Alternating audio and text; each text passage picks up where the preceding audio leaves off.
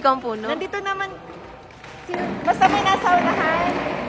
Palit, saka na. Saka na. One, two. Yung tatlong lalaki, post-post lang. Post-post lang kayo. Yan, post-post lang kayo. One, two, three, pala post lang kayo. Hindi ka nagtatago.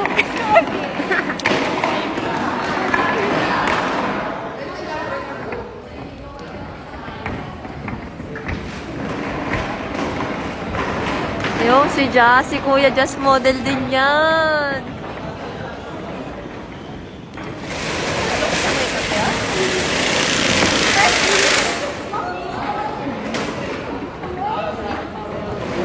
Hoy, Periana, saan mo ka dadalhin iyan?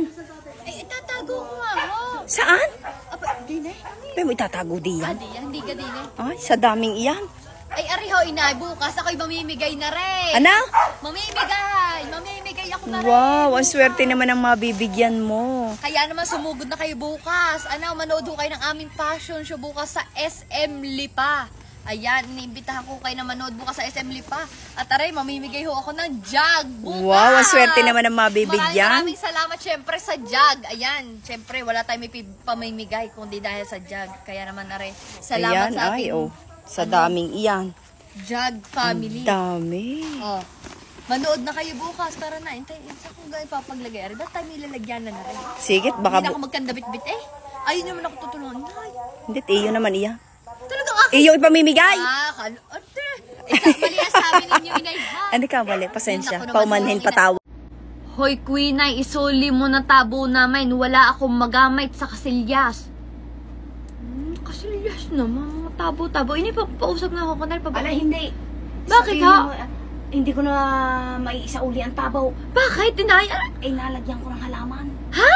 Tinanggalan ko ng hawakan at nilagyan ko na lang ng halaman. Naku po naman Hindi, ang hindi, Garnet. inay. Antay Naku po, naku po. Patay ka muna, huwag ka mag-ano.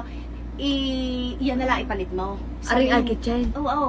Sabihin mo ay Ah, baka oo nga. pwedeng iyan na lang. Eh baka naman ano, map- Ay, sasarap na yan. Aray, aray, na, hindi, hindi, makikiusap muna ako.